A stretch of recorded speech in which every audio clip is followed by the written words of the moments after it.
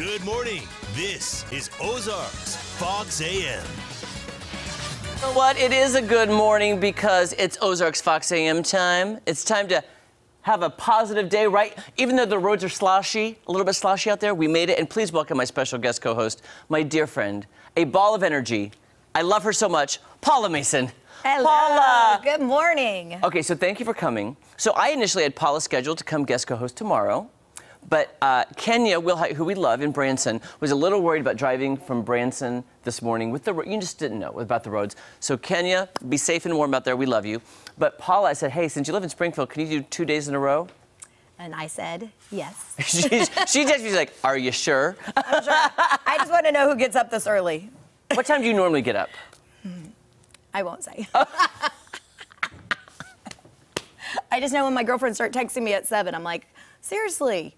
Like seriously, 7 a.m. Yeah. Oh my gosh. So by the time the show is starting, she's still in bed going, stop texting me. Exactly. I only get up this early if I'm going on vacation. Oh, well, that's true. Yeah. Yeah. Got to get to the airport. Uh-huh. Oh, and by the way, we want to give a shout out um, to uh, your mama, Yes. Barbara. Barbara. We love you, Barbara, because I've heard some great stories about you. What did Barbara tell you about the show today? Uh, she told me that I needed to bring my own supplies to cook. Because she said she saw you with a knife beating the eggs. And then she also, she was like, oh, I wonder if Jeremy will ask you to be his co-host. I'm like, no. And then you sent me a message.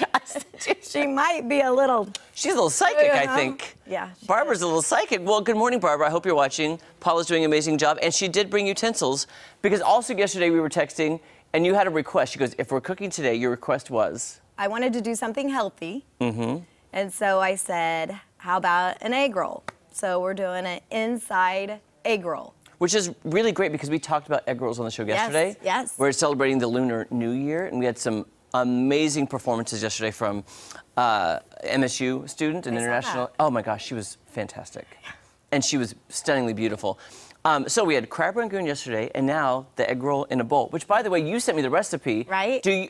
Can you tell our viewers you are you low carb? Are you keto? What is your your your health routine? Um, actually, I'm like, I sell for a company, so they actually send me food to eat. Oh, gotcha. But then I make my own meal at night, so Okay. or I can make it during the day or whatever. But um, so I help people lose weight. Um, it, I've had a lot of people lose weight. I've lost 40 pounds. Yes. I so- don't. That's amazing. And it's just by eating, just by eating healthy. And you, you don't have to do like intermittent fasting or anything, Nope. so you get to eat. I eat six times a day. Are you serious? Yes, But for, okay, let's say for somebody like me who's on the show, and we cook on the show a lot. Would that really throw off the plan of your? Well, I mean, if you took a bite here and there, I mean, if you were really trying to lose a lot of weight, probably. So you'd. so you're telling me when we cook, I can only take one bite of the food? Yeah. Ah, that's impossible. Well, You're- good thing you're. Uh, you don't need to lose any weight. But I was like, because yesterday too, uh, producer Jake and I, we like the low carb, la keto type lifestyle, which I try to stick to, not on the show. So yesterday we made the crab rangoon. I was like, I'll just eat one. Then Natalie and I each had three, and I'm like, it's too good, I can't stop. But you had like cream cheese. If you got like a mm-hmm. low, like the low fat cream cheese, you know, crab is really good And crab for is you. good. Yes, I mean you can eat a lot of seafood. So Wow. there's not a lot that I can eat. So you just have to eat it in smaller portions. Okay. I'm fascinated. I kind of want to see the food that they send you because I've always been leery about the food service because I haven't done it yet. Well, it's in little packages.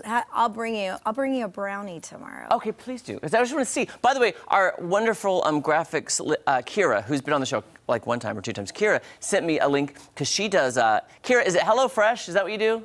Kira, I think she sent me. Yeah, she Yeah. sent me a link for a free box to try it out because I'm just like, it would be easier for prepping meals if Right. it just came to me. Then I don't have to worry about. So I'm going to try that, Kira. I will sign up for that. She sent me the link and she's so awesome. So thank you for that. But.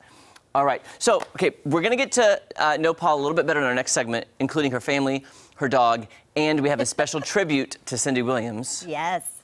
Rest in peace. Um, but producer Jake has put together our own headlines today, and he told me not to read them. So this kind of feels like a teleprompter game at the same time. I'm going to read this blind. Oh, gosh. Okay, and then we're going to just give our, our thoughts on this. So I'm just, guys at home, I'm reading the teleprompter. Here's what producer Jake has put together for us. Are you ready? Okay, Paula, question. What's the farthest you've ever hidden in a game of hide and seek? uh, um, let's see. Uh, okay, remember the last time we played hide and seek? Was it about two weeks ago? Oh, yeah. I was going to say yesterday. Yes. well, it could have been. It could have been. Uh, let's see. Um, what's the farthest? I'd say like the other end of the house.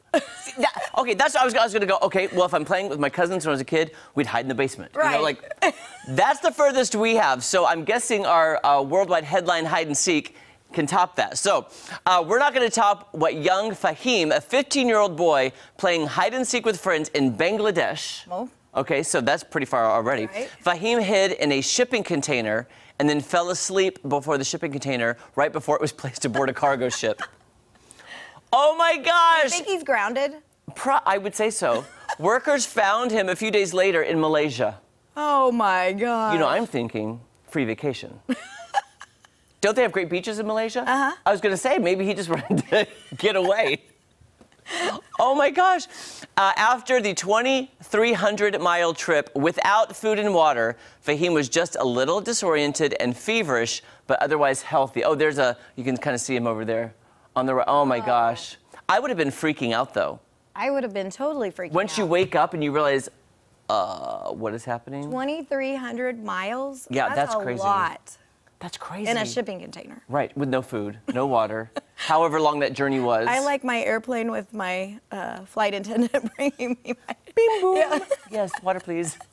Actually, the last time I flew, which a couple weeks ago, was beam boom, Bloody Mary, please. I was like, I need that to, to, to, you know, calm me down, you know.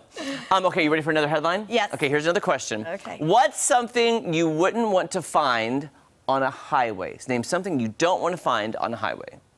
Um, let's see. It'd be an animal. True. Yeah. I was going to say a person. you know, Oh, that might be. I don't want I don't want that to happen. I want Yeah. everybody to be safe out there. Uh. okay, so Western Australia's Department of Fire and Emergency Services had issued a public health warning as members of a mining company have lost a radioactive capsule oh. somewhere along the 870 mile stretch of highway in the west part of the country. that would be scary. How do you lose that? Oh my gosh, the capsule is less uh, less than the size of a penny. Oh, Oh. my god. Oh my gosh, this is stressing me out. So how would you even see this? I don't even know. And health officials have warned drivers to be careful if they check debris in their tires because that could be Right. that radioactive Stuck in between the. Or don't clean up the bottom of your shoes too fast because you're like, there's radioactive right there. Oh, my Oh. gosh. I wouldn't want to drive. No, oh, I would be scared. You know what? I was, oddly enough, I'm not a geography type person. Uh-huh. Producer Jake is. I was following some TikTok accounts that were taking, it was basically showing when you look at the globe, you really don't understand sizes of countries until you move them on top of another country to see the. Oh. And they were showing like Australia on top of the United States to show how big it is. And then they were showing like Western Australia, they have a state, is so big it covers like half of Europe. So it's like, it's that Western Australia, so big, kind of empty. So that nuclear penny is somewhere floating or just on the ground somewhere That's in. Western Australia. it's way too big, way too flat, way too inhab- inhabitable. Or you go uh, like you know you're walking by it and you're like, oh, what is that? And then you pick it up and like, And especially, what if it's a kid? Because kids Uh, are curious. And you're like, Mommy, what? And let's take it home and play with it. And you're like, No, no, no. no. Oh my gosh. But you wouldn't know what it is. But that's the whole thing too. Yeah, I hope they did post a picture like in the Australian news about like what it looked like. Oh my gosh, my pack is falling completely off. There we go. Sorry guys. Um, but yeah, Jake, I liked those headlines. That was very good. I appreciate that. And by the way, we did it. Thank you, Jake. Yeah. By the way, we did that teleprompter game with Christine Dawes, and I feel like I was just doing a teleprompter game too because I was just reading blind. That was way easier. Way Yeah, easier. Way easier, because I was not going to take her part. We should have done that with Paula. No. That would have been amazing. I saw her. tomorrow. Tomorrow.